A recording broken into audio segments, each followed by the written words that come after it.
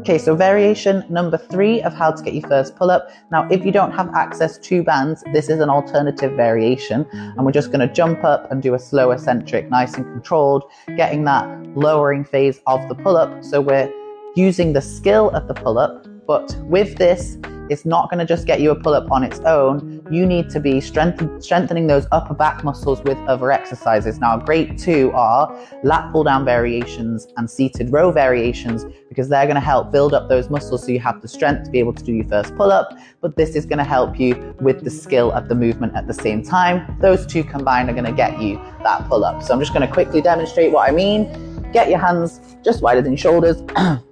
Big jump up and then slowly lower yourself down, making sure all the work is being controlled by your upper back.